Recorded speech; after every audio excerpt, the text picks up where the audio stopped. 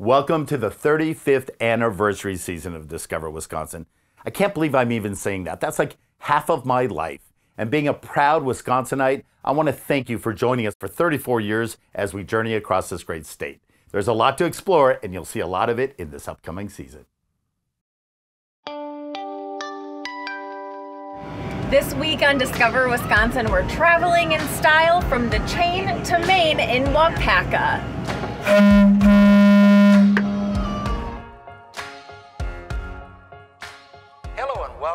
Discover Wisconsin.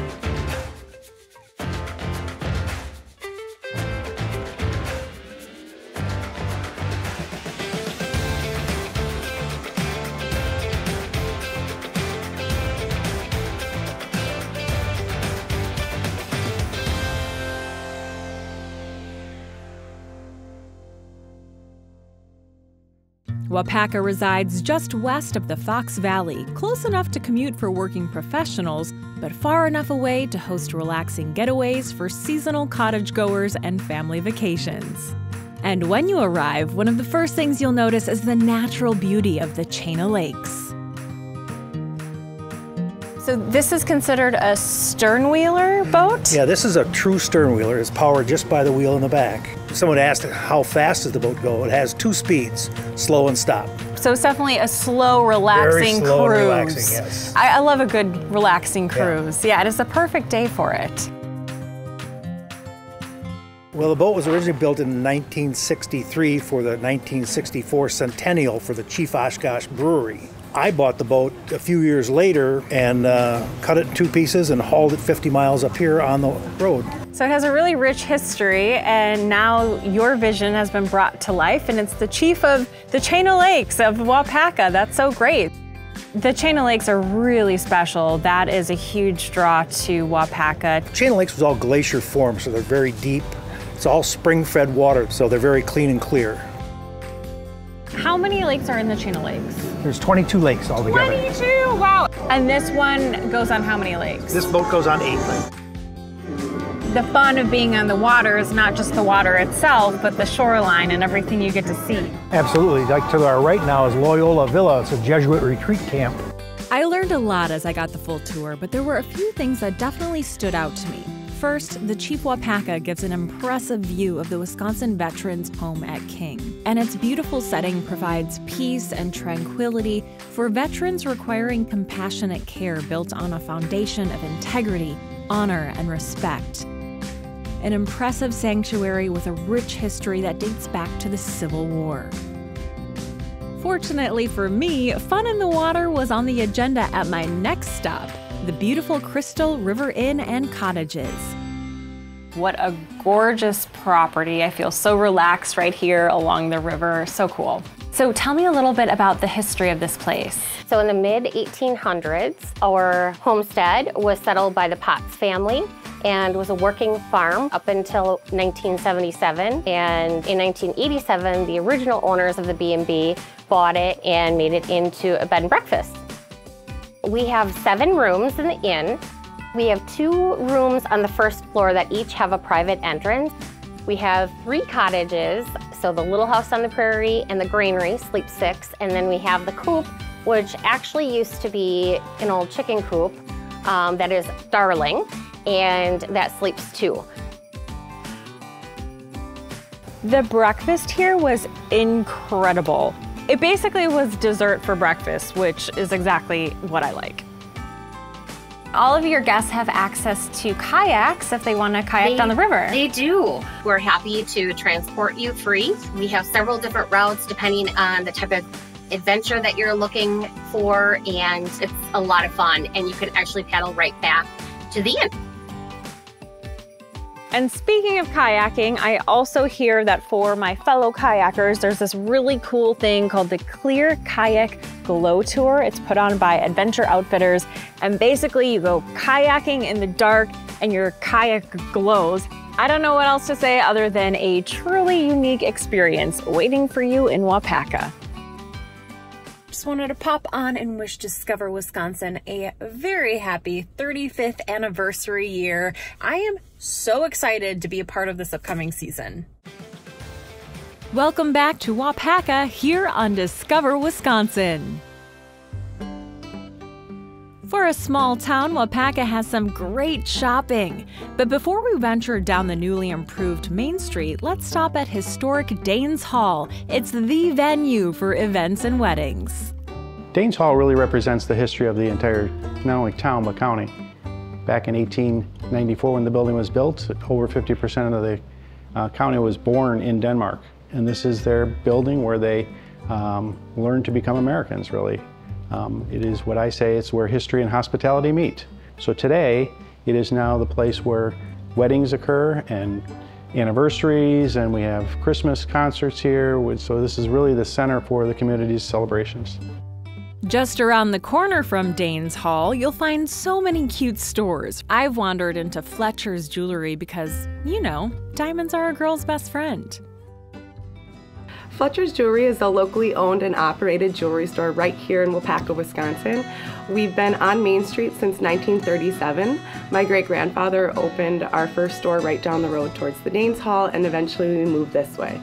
It's very special to have generations of people coming here year after year for their Christmas gifts, for engagements, seeing people my age getting engaged when their parents got engaged with a, a ring from here or their grandparents got their rings from here. Another fun store is Waupaca River Gallery and Gifts, also known as Framing by Preston. It's a retail shop. It started off as mainly framing by Preston. I did a lot of custom framing and print selling, art selling, and we added Waupaca River Gallery and Gifts just to make it more retail friendly. It is fun. It's not your typical gift shop. It's really unique. It's got a specific colorful aesthetic. It's perfect for a lake home, a cabin. I don't know about you, but shopping makes me hungry. And a great place to stop on Main Street for a bite to eat is Little Fat Gretchen's. It's so much more than a diner. It's a great place to connect with locals and get a sense of what makes Waupaca special. Main Street is just one example of the vibrant businesses in town. There are several national and global companies based in Waupaca, providing jobs and revenue for the community and surrounding areas. Waupaca is a great place to work because we have a variety of different things. Um, everything from silent sports-based activities, tourism-based activities, to large employer manufacturing. Uh, Waupaca Foundry is a great example who makes pieces for Ram, John Deere, um, companies that are known worldwide. And then also uh, Waupaca Sand Solutions who, who does a lot of work with golf courses and ballparks. So if you're at a major league ballpark, that ballpark might actually have infield mix that was made right here in Waupaca. And I think that's what makes Waupaca great, is it has all these opportunities for so many different types of interests. You can build a career here, but you can also build a family here in a way that a lot of people are looking for. The Waupaca community is so special because it's a great place to raise kids. All the parks and wrecks and rivers that, that exist in, in this area, but also because of our school district and the quality education that we're able to provide. The Waupaca Way is part of the reason for our success. The Waupaca Way is a set of principles, responsible, respectful, safe, and prepared. And these are the principles that we teach our students and that we live by. And it's also kind of filtered into our community. If you go to the city's rec center, you'll see that poster hanging there. And in our businesses as well, you'll see the Waupaca Way hanging in our businesses. It's the way we do business. Want to learn more about our favorite places to visit in Wisconsin? Subscribe to Discover Wisconsin's official podcast, The Cabin. When we come back, we'll discover what attracts artists and athletes to Waupaca for one fun filled summer weekend. Discover Wisconsin is back, living large in Waupaca. No matter the season, Waupaca has an incredible calendar of events that attract tourists and entertain locals. But the third week in August is super special because it hosts the annual Waupaca Triathlon and Arts on the Square. The Waupaca Area Triathlon started in 2001. And in our case, our long course triathlon is a half mile swim, 20 mile bike, and a 5K run. We substituted the kayaking out.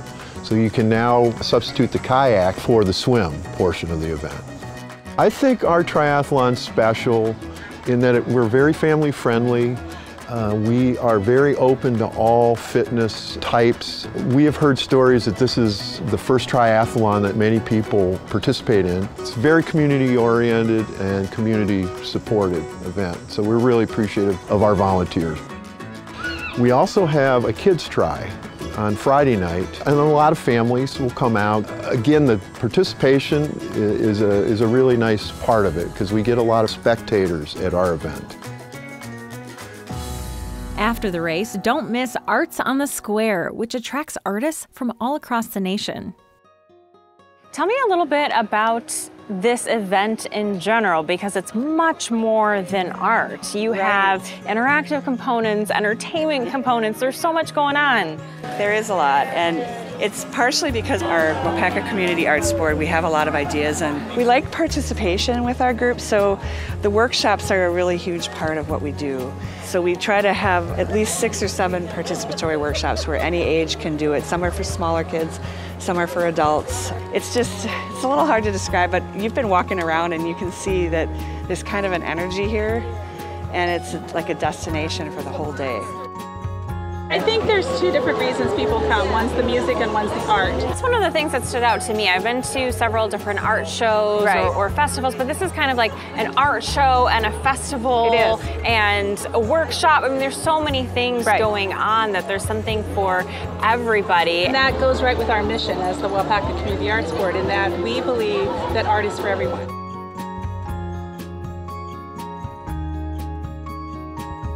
If music is your thing, you've got to visit the historic Indian Crossing Casino. It's not a casino, it's a music landmark that hosts local and big name entertainers. They also host the Chain o' Lakes Blues Fest. It's sure to stir up a little rhythm in your soul. The Indian Crossing Casino is widely known as one of the more popular and historic live music venues in Waupaca County and, for that matter, central Wisconsin. Over its rich history, it's played host to Neil Young, the Beach Boys many times, the Everly Brothers, uh, more recently, the BoDeans, uh, LeAnn Rimes, Aaron Lewis. What makes Blues Fest and this weekend such an incredible event for not only Waupaca, but for the Indian Crossing Casino is it brings in a lot of artists that may not normally get to be featured um, because they're maybe a little smaller or more of a niche genre, but we put them all together and we make a huge weekend out of it. Everybody loves it. It really showcases that Waupaca is not a three-month destination, that as you can see, it's lovely, it's a great place to be, and you have an amazing time while you're here. Happy 35th anniversary Discover Wisconsin, coming to you all the way from Los Angeles. I wrote a few episodes for you back in the 90s. Wow, that was such a long time ago. Love Wisconsin, beautiful state, and I love the roses. God bless you guys. Happy anniversary. Welcome back to Waupaca here on Discover Wisconsin. Waupaca is truly a year round destination. The natural beauty of the Chain of Lakes and area parks take on new characteristics in the fall and winter. A drive through Waupaca in the fall is truly a treat, and one of the most scenic trips is a visit to the Red Mill. Built in 1855, it was once a grist mill, but now holds a gift shop. Not to mention, the chapel on site is the perfect place for a picturesque wedding. And in the winter, don't miss the beauty and recreation waiting for you outdoors. There's a ton of fun to be had at Hartman Creek State Park and the Waupaca Curling Club. So we are here at Hartman Creek State Park and it is absolutely gorgeous in the winter, but it's beautiful in the summer as well. Behind us we have one of how many lakes uh, that of, border here? Yeah, one of eight lakes that um, are in, within the boundaries of Hartman Creek State Park. So this place is very geographically interesting, which has a lot to do with the history, right? Yes, so about 12 to 15,000 years ago, the glaciers moved through Wisconsin, and these lakes were formed actually by the glacial drainage, and that's the pattern you're seeing on these lakes and the chain of lakes that are formed. And there's a ton to do here. Tell me about some of the activities that people who are visiting can participate yeah. in. Yeah, so we have about uh, nine miles of uh, fat tire bike trails that are groomed for winter use. We have about six miles of uh, cross-country ski trails, and we have a ton of different um, snowshoeing trails throughout the park. I have never been snowshoeing before. I'm super excited to try Yes. it. Any words of advice before I do it? Well, the great thing about snowshoeing is that if you can walk, you can get out here and snowshoe. So you're all set. You're all Awesome. locked Ooh, nice. You can grab your trekking Cool. poles. Here we go. Here we go. Snowshoeing was so much fun. It's a great activity to do in the middle of winter, and it makes walking so much more fun because you can be that much lighter on the snow. Winter does not slow down in Waupaca. The youth hockey rink is always a hot spot despite cold days.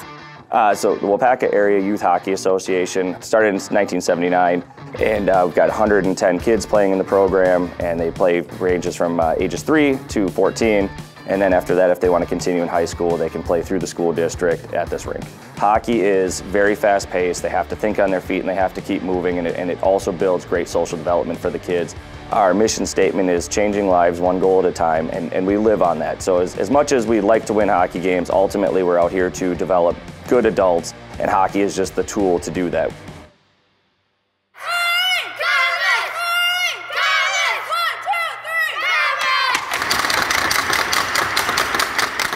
Curling, once an obscure sport, is growing in popularity in Wisconsin, but it's been a beloved community activity for a long time in Waupaca. Uh, Waupaca Curling Club is one of the oldest in the country. It was founded in 1879. I, I love curling because it is a sport for all ages. We have from fifth grade to 70 year olds. It's also a really social sport. We curl with our friends, but it's also competitive and just so much fun, especially in the winter. We're going to start curling. Here's our traditional greeting. Good curling. Good curling. Your objective is to get stones as close to that pin as you can to outcount the other teams. It's very physical. It's very mental. Uh, it's called been called chess on ice because you've got to pick your shots, thinking three, four moves ahead.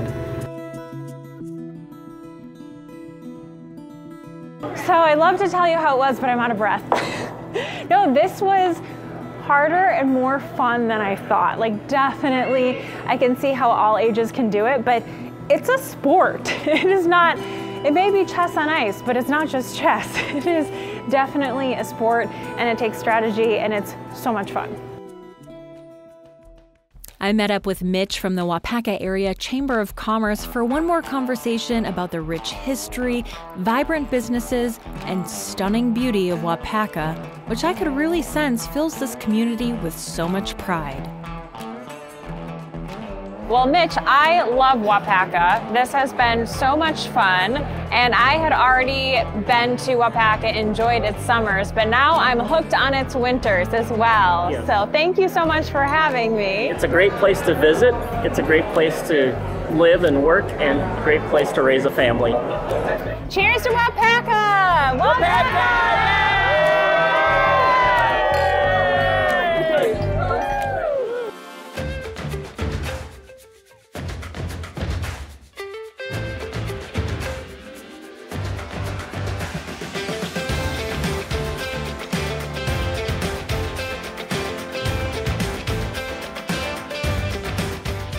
Continue the adventure and stream Discover Wisconsin on all your favorite devices by scanning the QR code in the upper right corner of your screen.